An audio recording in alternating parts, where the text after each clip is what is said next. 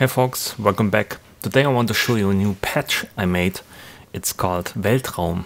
And before I show you how I built it, I want to show you how it sounds. Okay, so take a listen.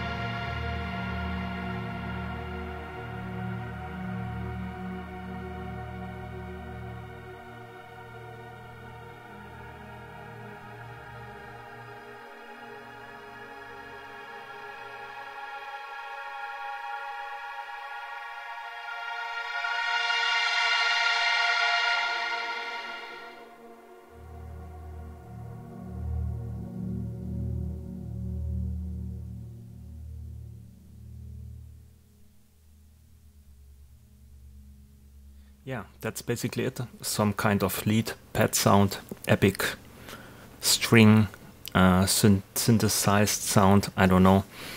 Um, yeah, and I want to show you how I built it. Mm, like in the Sparkle synth I have for each voice, each note, I have a layer here.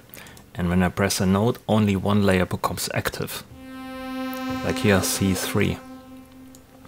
And when I go into this layer, we have a note filter where I filter out every other note that's not being pressed. And below that we have a voice container. And this voice container has an envelope and this envelope controls um, if the DC offset device is turned on or off. This is to save CPU power. So when you press a note, it becomes active. When you release the note, it turns off again.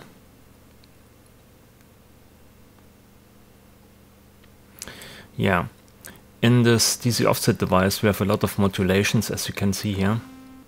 But the main thing are these two modulators here.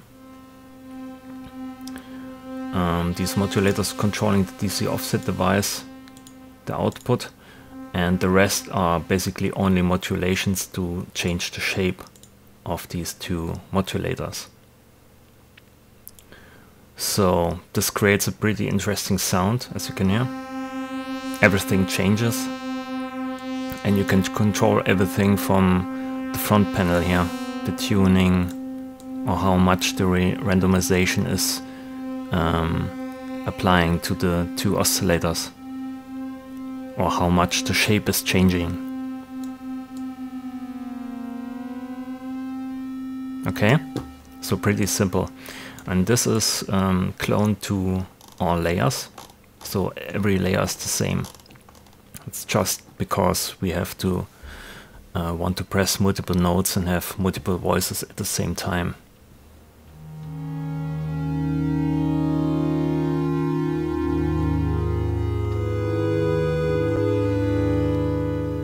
If we have problems with the CPU, that uh, as you can see CPU load is pretty heavy, um, turn down the release time here so the voice deactivates faster.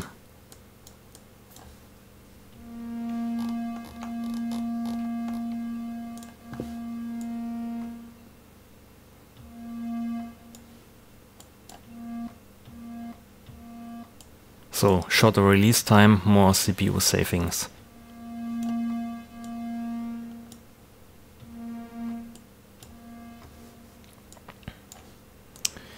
Okay, that's it for the voices. But the main sound actually comes from the FX section. So let's look at that. We have um, here different devices. The first device is a room device that's basically just reverb. The second one is um, a device which pitches the sound by 12 semitones or one octave. And the third one is also um, a reverb with the pitch shifter in front with also 12 semitones. But I called it 24 because we have already 12 partials, uh, 12, 12 semitones pitched up here. So yeah, I called it 24.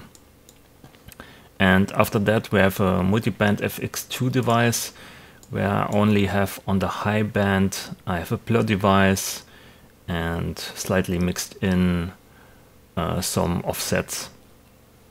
So just for stereo effects or make the sound more wider. And yeah, that's it for this device basically. Um, at the end I have a Gullfoss here just to EQ some uh, frequencies out for the video, but it doesn't do much. So it's all Bitwig only. I want to show you quick what each uh, device is doing.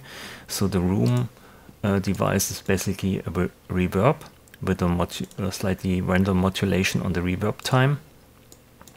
TankFX has a blur device with random uh, modulated offsets.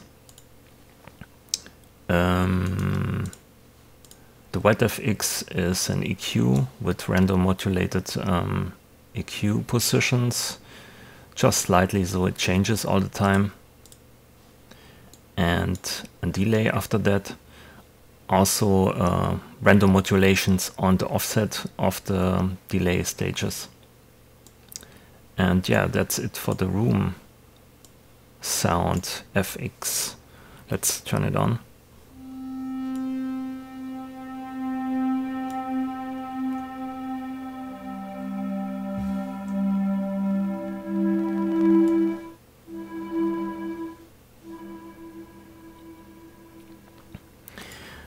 Makes a pretty epic reverb, I think.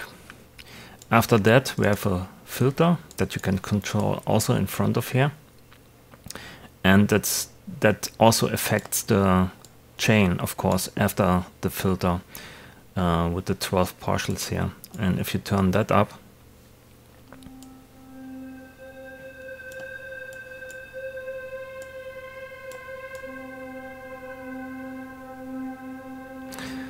So it, basically you can dial in a small texture um, on top of the deep sound. And to make it more epic, you have this uh, second uh, pitch reverb here to make it more epic.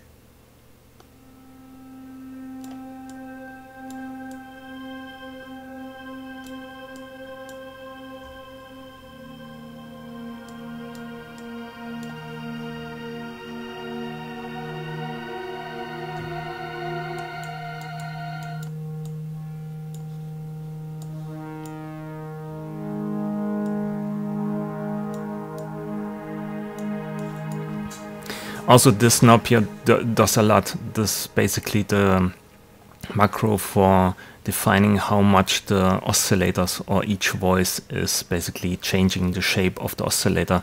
So this does a lot.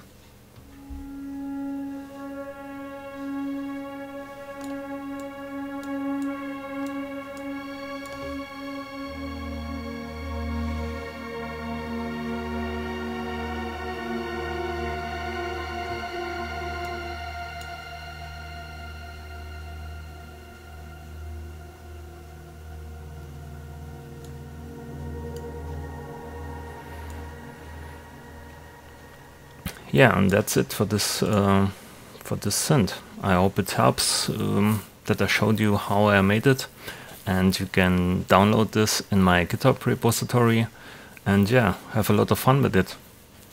And if you have some questions, ask me in the comments and leave me a like. Until next time, see you and bye.